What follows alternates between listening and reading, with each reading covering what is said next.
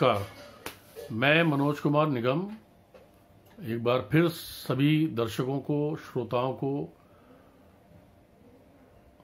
बहुत बहुत धन्यवाद देता हूँ कि उन्होंने मेरे पहले वीडियो पे अच्छे कमेंट्स बहुत अच्छे लाइक्स बहुत अच्छे व्यूज़ दिए, जिससे एक व्यक्ति का प्रोत्साहन होता है और वो मोटिवेट होता है आगे के लिए और अच्छे वीडियोस बनाने के लिए। तो एक बार फिर मैं आप लोगों के समक्ष प्रस्तुत हुआ हूँ। कुछ ज्वलंत मुद्दे हैं, ज्वलंत विषय हैं, जिनसे आज पूरा देश दो चार हो रहा है। बात हम शुरू करते हैं कुछ पाँच छः साल, सात साल पीछे जाकर के। वैसे तो हम बात शुरू कर सकते हैं आज से सत्तर, बहत्तर साल पीछे जाके भी। लेकिन उतना पीछे जाने की आवश्यकता इसलिए नहीं है कि सत्तर, बहत्तर साल पहले, तिहत्तर साल पहले जब देश आज़ाद हुआ था, उस समय की परिस्थितियाँ और आज छः सात साल पहले की परिस्थितियों में ज़मीन और आसमान का फ़र्क है। उस समय देश की स्थिति उतनी मज़बूत नहीं थी या नहीं हुआ करती थी, जितनी आज मज़बूत स्थिति में देश है, यानी छह सात साल पहले, यानी हम बात कर रहे हैं 2014 के बाद की। और वो इस वजह से कर रहे हैं क्योंकि 2014 से पहले इस देश में एक पार्टी थी जिसकी 10 वर्षों तक सरकार रही थी। और उस समय पर भी बहुत सारे नियम कानून बने थे, अध्यादेश बने थे। बहुत सारी विचारों को लागू किया गया था कानून के तौर पे या अध्यादेश के तौर पे।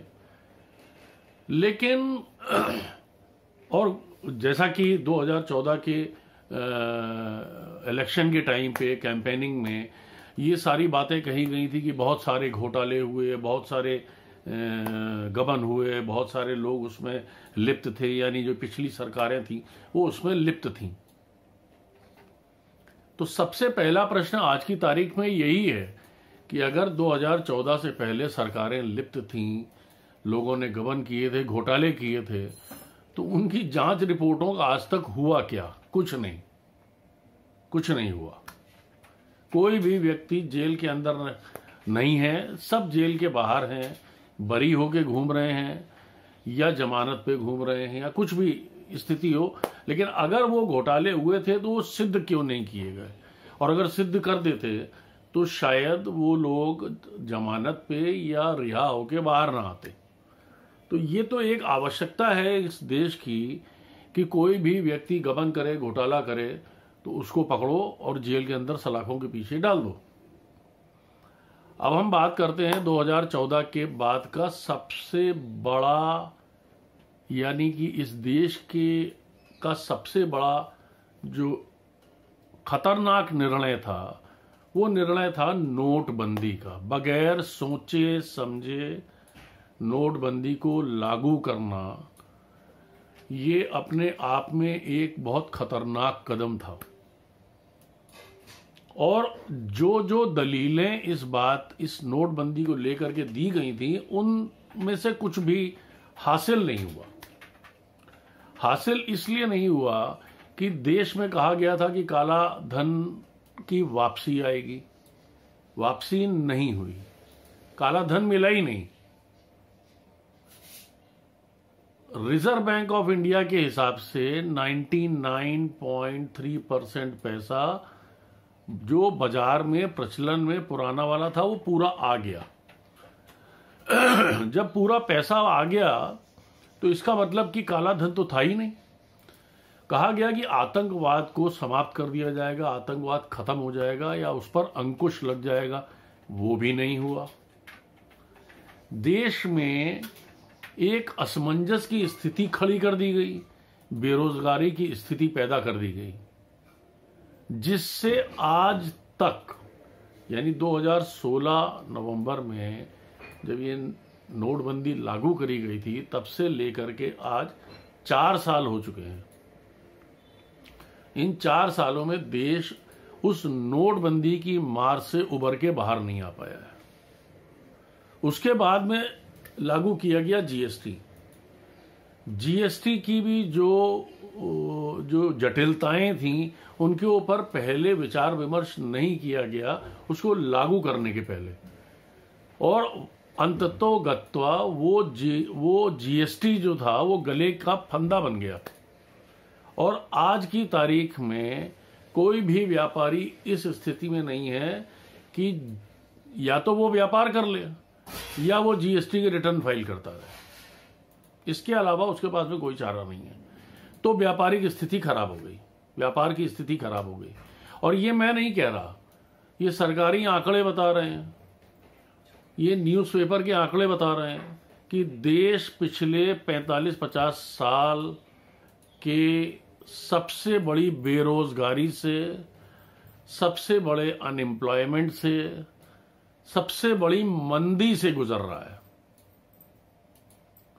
उसके बाद में अगला चरण आता है रोज़गार का, नौजवानों के भविष्य का।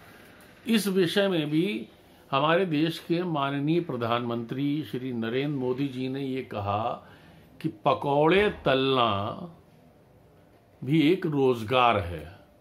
यानी जो माँ बाप अपने बच्चों को अपना खून पसीना एक करके मिडिल क्लास की मैं बात कर रहा हूँ। कि उनको पढ़ा लिखा करके काबिल बनाता है कि उसको रोज़गार मिले, उसको रोज़गार मुहैया हो। तो वो उसके लिए हमारे प्रधानमंत्री जी ने इतना अच्छा मार्गदर्शन किया कि तुम B Tech B Com M A B A कोई भी अच्छी पढ़ाई करने के बाद में पकौड़े तलने की दुकान खोल लो। तो तुम्हारा स्वरोजगार हो जाएगा, आत्मनिर्भर भारत बन जाएगा। बहुत अच्छी बात है साहब अब उसके बाद में नंबर लगता है साहब कोरोना का। कोरोना का नंबर लगा। कोरोना के नंबर में भी मतलब आप ये देखिए कि जो स्थिति थी 25 मार्च को 22 मार्च को एक जनता कर्फ्यू लगाया गया। जनता कर्फ्यू लगाने के बाद में 25 मार्च से ये अघोषित लॉकडाउन एकदम से पूरे देश के ऊपर थोप दिया गया। जबकि 16-17 मार्च में ये चीज़ स्पष्ट हो चुकी थी कि कोरोना ने दस्तक दे दी है तो सरकार चाहती तो कम से कम एक हफ़्ते का टाइम दे के, एक सप्ताह का समय दे करके कि जो जहाँ भी है अपने अपने गंतव्य स्थान पे आप पहुँच जाइए, अपने घरों पे पहुँच जाइए। जो भी है सरकार महीने, दो महीने के ज़रूरत के हिसाब से लॉकडाउन फुल टोटल लॉकडाउन लगाएगी और उसकी वजह से किसी को असहूलियत ना हो, उसकी उसकी ज़िंदगी में कोई कष्ट या परेशानी नहीं आए। लेकिन इस विषय में भी कुछ नहीं सोचा गया।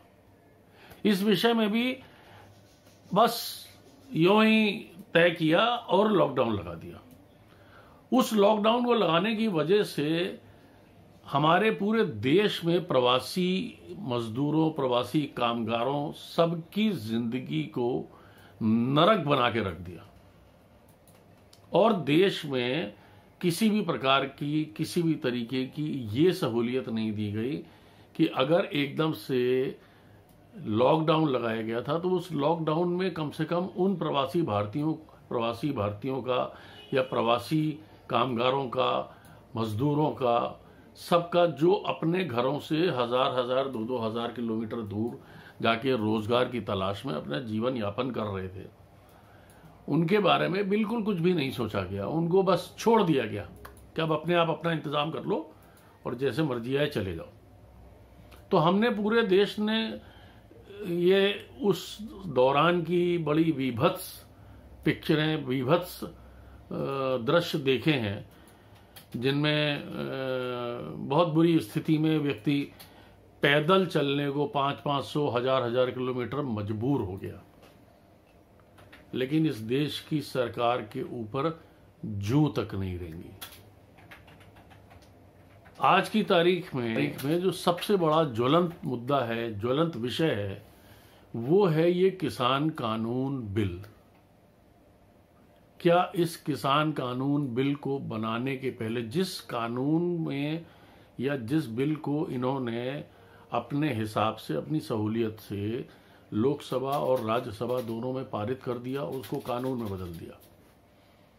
क्या इस देश के सरकारों ने, सरकार ने या सरकार के नुमाइंदों ने या सरकार के जितने भी मंत्री परिषद के सदस्य हैं, उन लोगों ने एक बार भी सोचा था कि इस कानून को बनाने के पहले किसानों से उनकी राय पूछी जाए। किसानों से उनका मंतव्य पूछा जाए, उन, किसानों से उस विषय पे जिसको विषय को हम कानून के तौर पे, अध्यादेश के तौर पे लागू करने जा रहे हैं, उसके विषय में हम अपने कामगारों से, किसानों से बात करें। लेकिन नहीं साहब, इस बार भी वही हुआ। इस बार भी वही हुआ। जैसा सबसे पहली बार हुआ था नोटबंदी के टाइम पे, लाइन में लगे लोग इस देश में कितने सैकड़ों की तादाद में मर गए भूख प्यास से अपने नोट बदलवाने के नाम पे। मार खा के या भूख की वजह से या बीमारी की वजह से लाइन में लग के मर गए। इस देश की सरकार बहुत खुश थी इस बात से। उसी तरीके से जीएसटी लागू किया गया। उसमें भी बहुत सारे अमेंडमेंट अनगिनत अमेंडमेंट कर दिए गए।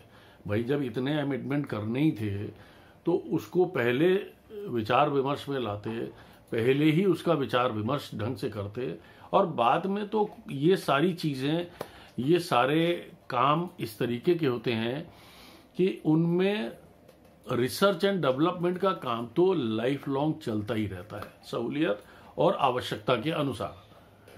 लेकिन तब भी नहीं सोचा गया था। कोरोना का टाइम आया, तब भी ये चीज़ नहीं सोची गई। अब ये वापस किसान बिल है। किसान बिल में किसानों की जो परिस्थिति है, उस परिस्थिति को देख करके तो ये सरकार मतलब बिल्कुल पसीज ही नहीं रही है। दिल्ली के चारों तरफ़ किसान भाइयों का जमावड़ा लगा हुआ है और वो उस जमावड़े में लगे हुए हैं कि किसी तरीके से सरकार उनकी बात को सुने। कितने ही दौर की बातचीत हो चुकी है, लेकिन सरकार इस विषय में किसानों की सुनने को तैयार भी नहीं है। और वो तैयार इसलिए नहीं है क्योंकि सरकार को लगता है कि हम तो स्पष्ट बहुमत में हैं। अगर हमें किसान बिल वापस लेना पड़ गया तो हमारी तो बेइज्जती हो जाएगी। हमारी तो नाक नीची हो जाएगी। सवाल इस बात का नहीं है कि आपकी बेइज्जती हो जाएगी आपकी नाक नीची हो जाएगी। आपको सरकार के इस पद पे या सरकार बनाने का अधिकार इसी जनता ने दिया है। इसी जनता की वोट की ताकत की वजह से आज आप साढ़े तीन सौ से ज़्यादा सीटें अपने एनडीए गठबंधन की ले करके सरकार को चला रहे हैं और अब तानाशाही कर रहे हैं, जो कि आपको नहीं करना चाहिए था। तो इस देश की विभीषिका सबसे बड़ी ये है जैसा मैं सोचता हूँ, हो सकता है शायद मेरे विचार गलत हों, लेकिन ये सत्य है कि हमारे देश में राइट टू रिकॉल की परमिशन नहीं है कि अगर कोई सरकार हमारे वोट की ताकत से क्लियर मेजोरिटी लेकर के अपनी सरकार बना ले और उसके बाद अगर वो सही काम न करे, उचित निर्णय न ले तो हम उस सरकार को अपने वोट की ताकत से ही वापस गिरा दें और इस देश को वापस एक मौका दें कि वो सही व्यक्ति को, सही व्यक्तियों की सरकार को, सही विचारों की सरकार को, और खासकर जो सरकार देश के नौजवान, देश के किसान, देश के गरीब, देश के कामगारों और देश की उन्नति के लिए काम करे, हम उसको अपनी सरकार बनाएँगे। या उसको हम अपनी सरकार बनने देने का मौका देंगे। लेकिन यहाँ पर स्थिति दूसरी है। यहाँ पर स्थिति यह है कि हम एक बार बन गए साहब क्लियर मेजोरिटी आ गई हमारी। अब हम पाँच साल तक जो मर्ज़ी आएगा वो करेंगे। किसी की नहीं सुनेंगे, किसी की नहीं मानेंगे। ये जो स्थिति है, ये सबसे दर्दनाक और खराब स्थिति है। और मेरा मानना यह है कि सरकार को खुद पहल करके, अरे हमें तो याद रखना चाहिए अपने पुराने प्रधानमंत्रियों को, जिसमें मैं लाल, आज की परिस्थिति में लाल बहादुर शास्त्री जैसे व्यक्ति, जो कि एक किसान परिवार के से आते थे, उन्होंने जय जवान और जय किसान का नारा दिया था। तो जय जवान और जय किसान का नारा बस यूँ ही नहीं दे दिया गया था। कि बस यूँ बैठे थे, रात में सपना आया और जय जवान, जय किसान का नारा दे दिया। बल्कि उस नारे को बनाने में गूढ़ विचार विमर्श हुए थे, महत्वपूर्ण विचारों का आदान प्रदान हुआ था, परिस्थितियों का आकलन हुआ था, तब जाकर के वो एक नारा निकला था, जय जवान, जय किसान। क्योंकि किसान इस देश के हर व्यक्ति का अन्नदाता है। जवान इस देश के हर व्यक्ति के लिए रक्षा रक्षा चक्र है, जिसकी सुरक्षा में हम बहुत निश्चिंत होकर के अपने जीवन को गुजारते हैं। तो इसलिए जय जवान और जय किसान का नारा कोई यो ही रातों रात नहीं बन गया था। तो मेरा आज की जो सरकार है, उससे निवेदन है, कृपा करके अपनी हट धर्मिता को खत्म करें। और किसानों के बारे में, जवान, जवानों के बारे में, देश के मध्यम वर्गीय परिवारों के बारे में और देश के विकास के बारे में कृपा करके ध्यान दीजिए ताकि आपका बड़प्पन भी बना रहे और जिनकी आवश्यकताएँ और जिनकी ज़रूरतें हैं, उनकी ज़रूरत और आवश्यकताएँ भी पूर्ति रहे। वैसे तो देखिए बात हर व्यक्ति जानता है कि इंसान की इच्छाओं का अंत नहीं होता। लेकिन इस इच्छाओं का अंत न होने का कारण ये नहीं है कि हम विचार विमर्श करना छोड़ दें। हम आपस में बातचीत करके कोई हल निकालें या बातचीत करके कोई इस निष्कर्ष पे पहुँचे जिससे सबका फ़ायदा हो, सबका साथ हो, सबका विश्वास हो और इस पूरे भरोसे के साथ ये देश आगे चले, आगे बढ़े एक बार फिर आप सबसे मेरी हाथ जोड़ के करबद्ध प्रार्थना है, विनम्र निवेदन है कि मेरी आवाज़ अगर सरकार तक पहुँचे, सरकार तक जाए तो कम से कम मेरी इन सारी विचारों पर थोड़ा सा ध्यान दें, थोड़ा सा गौर करें और कोशिश करें कि इस देश के लोगों का भला हो सके, के देश के लोगों का कल्याण हो सके और सरकार का भी मान सम्मान रहे। क्योंकि देखिए, हमारे वो देश के प्रधानमंत्री हैं, आदरणीय प्रधानमंत्री हैं। मंत्री परिषद है तो आदरणीय मंत्री परिषद है। हम उसका सम्मान करते हैं। और वो संविधान और कानून से पूरे देश को चलाने के लिए उन्होंने शपथ ली है। और इस चीज़ की भी शपथ ली है कि इस देश को उन्नति के रास्ते पर आगे ले जाएँगे। तो ये अपने कर्तव्यों का निर्वहन करें। देश का बाकी जनमानस 135 करोड़ की जो जनसंख्या है, वो अपने अपने साहस और अपनी मेहनत के बल पे देश की तरक्की में, देश के विकास में अपना जो योगदान दे सकती है, वो योगदान देगी। लेकिन कम से कम सरकार से निवेदन है कि वो देश के लोगों के लिए नीतियाँ इस प्रकार से बनाएँ पॉलिसीज़ इस तरीके से बनाएँ कि कम से कम देश का कामगार, किसान, आम आदमी, मध्यम वर्गीय अपने आप को दबा कुचला महसूस ना करें। बस इन्हीं विचारों के साथ मैं आप सब लोगों को एक बार फिर बहुत बहुत धन्यवाद दूँगा कि मेरे विचारों को सुनने के लिए आपने समय निकाला। धन्यवाद साहब